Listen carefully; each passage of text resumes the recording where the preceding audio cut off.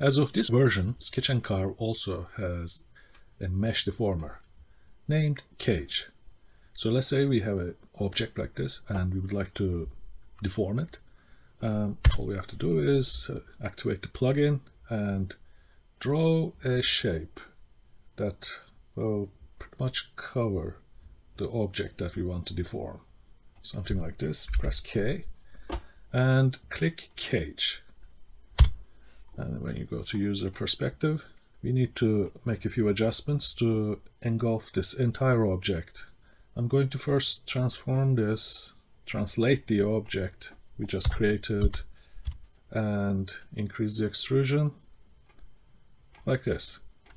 And all we have to do now is to click bind and press K to set it and you can now turn off the cage modifier. And press Alt V to switch to object mode and select our cage. And if you go into edit mode and let's turn on x-ray so we can see all the points.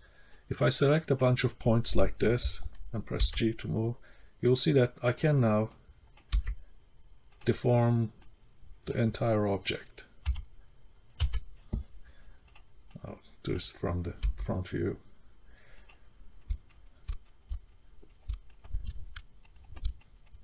Let's turn on the proportional editing tools also. Well, here we are cartoonifying our object. Um, because the modifier is actually a mesh object, you can also, you should be able to select faces. I don't know why I can't select this face. Hmm. This is the demo bug, isn't it? Anyway, let's do this instead. And rotate. Let's go to uh, view, turn off the X-ray, and here you are, cartoony car. But the best part of this is actually this modifier is live. It actually has a bunch of shape keys set and you can animate it like this. Normal car, cartoony. Normal, cartoony.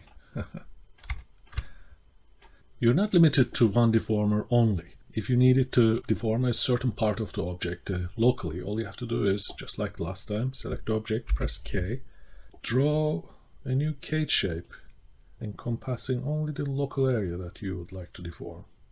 In this case, maybe this section, and press K. And if you have changed your settings from the previous one, all you have to do is just do the same steps, uh, adjust the translation and the extrusion. And you can also, just like any other object that you just created, you can add some subdivisions and make this more like a lattice deformer if you like. And after that, all you have to do is, just like last time, press bind and press K to set it. Now we can turn this off. And Alt V to go to object mode. Select our new cage shape. Press tab to go into edit mode. Let's turn on X-ray. Select a few points. And now we have local controls.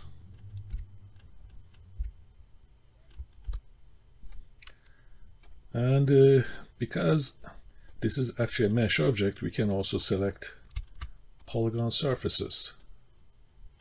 Use all the other transform tools, scale, rotate, and whatnot.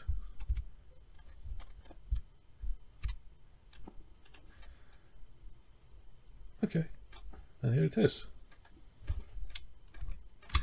Let's go back to our object view. And just like the previous one, of course, this also has a shape key already set, which you can animate.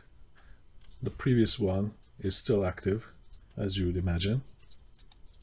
If any point your cage deformer stops working after a operation you did on your main object, that means that you change the uh, polygon count on your main object, and that usually puts the deformer out of commission And all you have to do then is just simply rebind it. You can use these unbind, bind buttons. Um, first, select your cage deformer, set it to zero position, and select your main object and click bind again. And then your object will be ready to go. So here's our cartoony, not cartoony, cartoony, not cartoony car. With the exception of this nose section.